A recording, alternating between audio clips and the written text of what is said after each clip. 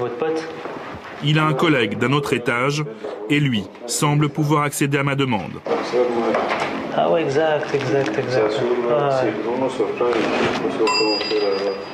Donc elle peut arriver par là, quoi. Tout est prévu pour assurer la discrétion, m'explique le vigile. Cet ascenseur, réservé au personnel, permet de faire monter qui on veut dans les chambres sans éveiller les soupçons de la réception. Et pour être sûr d'échapper à la vigilance de la direction de l'hôtel, il y a une autre solution encore plus discrète, l'escalier de service. Ah oui, exact. Pardon. Et elle peut monter par là. non Ouais. Ouais. Tu viens, tu me vois, je descends, je vais faire entrer. Là, je libère avec les gars. Bonsoir. Une discussion s'engage entre les deux vigiles. Visiblement, aucune mineure n'est disponible avant le lendemain et le prix n'est pas négociable, 50 000 francs CFA, soit 75 euros. Pour une petite fille, 40, 50. 50 000 CFA. Francs CFA. Bien, Ouais. bien satisfait. Vous êtes satisfait à fond. Ouais. Et c'est bien. Vous avez Pour une fille de 14 ans, quoi. Rendez-vous est pris pour le lendemain. En moins d'une heure, j'ai pu entrer en contact avec une filière de prostitution enfantine, et cela sans même avoir à sortir de mon hôtel. En attendant mon rendez-vous du soir, l'association qui patrouille dans le quartier des grands hôtels m'a mis sur la piste d'un Français, surpris dans sa chambre d'hôtel avec une fille de 12 ans. C'était il y a tout juste 9 mois, et comme dans la plupart des autres cas, l'affaire a été réglée au profit du touriste. Pourquoi une telle impunité? Un homme va prendre le risque de me répondre. C'est un haut responsable de la police. Pour ne pas éveiller les soupçons de ses collègues, il m'a donné rendez-vous dans un quartier populaire de Douala. Vous savez, généralement ici, c'est quand les victimes se plaignent que ça a un effet, que la police, que nous, la police, y a action. S'il n'y a pas plainte, il n'y a pas action. Même si la fille a 10 ans, même si elle a 12 ans, on se dit qu'il y a eu consentement. Si elle dénonce ces expatriés, nous, on va entrer en action. On l'interpelle, on met les enquêtes, si tout est confirmé, on va l'expatrier. C'est tel est le cas d'un expatrié qui était ici. Il s'est livré à ses activités, il a été expatrié, il est interdit de séjour au Cameroun depuis un moment de temps. Pas de plainte, donc pas de poursuite. Le policier m'apprend qu'en général, un peu d'argent versé aux familles suffit à éviter le scandale au Cameroun. Pour ce cas précis, le touriste français a donné 3000 euros pour éviter la prison. J'ai rendez-vous avec la victime, loin de son quartier et du regard indiscret de ses voisins.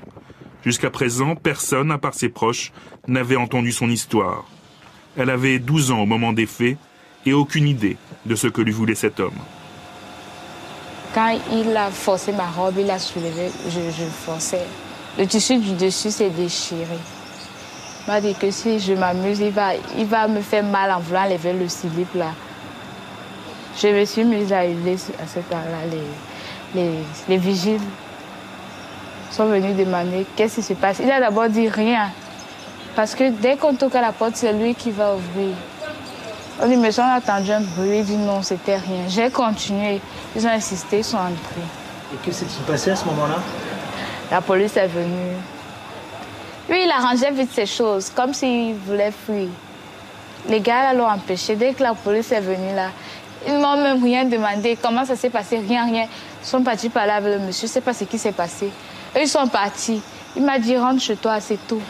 Et le monsieur est parti comme si de rien n'était. Comme si, comme si je mentais, quoi. Qu'est-ce que tu as envie de dire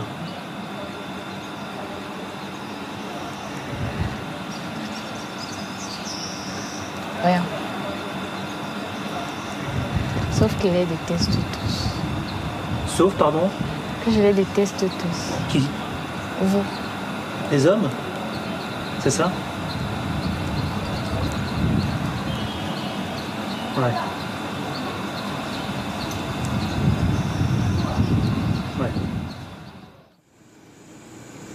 20 heures, c'est l'heure d'appeler les vigiles qui ont promis de faire monter une mineure de 14 ans dans ma chambre. Allô, c'est vous qui venez de me biper? C'est le monsieur de la sécurité là, c'est ça, hein? Bonsoir. Bonsoir. Ça va? Tu vas Je bien? vous ai amené votre invité surprise. L'invité surprise. Bon, bah merci. Hein. Allez, euh, À tout à l'heure. tout à l'heure. Je vais... Merci. Ça va? T'as eu peur là de passer par l'arrière de l'hôtel et tout euh J'ai eu trop peur. Parce Trop peur Parce que oui, il a trop fallu le tracasser. Ouais, J'aime pas me sentir mal à l'aise. oui, mal à l'aise. J'étais trop mal à l'aise. Je suis aussi mal à l'aise que l'adolescente. Visiblement, c'est la première fois qu'elle entre dans la chambre d'un touriste. souvent ou... euh Encore pire. Avant de s'asseoir sur mon lit, elle n'avait pas l'air de savoir ce qui l'attendait. Moi, j'ai demandé Esther pourquoi. Il m'a pas dit, c'est quand tu verras, il va te dire pourquoi. Et comment il te retrouve là? Faut qu'on l'appelle? Une adolescente non consentante livrait un adulte pour moins de 100 euros dans un hôtel de luxe. Oui, allô, monsieur de la sécurité? Oui, c'est... euh, Révolté, je décide d'arrêter là l'expérience. Là, ben, je, vous pouvez l'envoyer, le gars. hein. Vous pouvez l'envoyer. En allant ouvrir la porte, je me demande combien de personnes sont complices dans cette affaire. Combien ont échappé à la vigilance du concierge et de sa direction. La fille leur a expliqué qu'il n'y avait pas eu d'acte sexuel entre nous.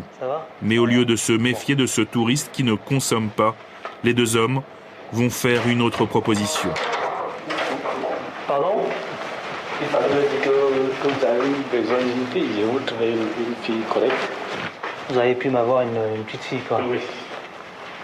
Oui. Ouais. Si vous en avez besoin, bon, je peux l'appeler. Hmm. Donc ici, à l'autre... Vous pouvez le faire, ça, auprès des touristes, quoi. Non, ici, il n'y a pas, il n'y a pas de temps. Hmm. Sans inquiétude. Sans inquiétude. Sans inquiétude. D'accord. Ces mots résonnent encore dans ma tête alors que je sais avoir enfreint la loi en faisant monter une mineure dans ma chambre. Il est 22 heures. Comme tous les soirs, les enfants attendent l'arrivée de la patrouille des grands frères chargés de les ramener au foyer. À mon grand désespoir, ce soir-là, je vais voir l'un de ces enfants disparaître dans la nuit au bras d'un touriste. C'est la dernière image qui me restera du quartier des grands hôtels de Douala.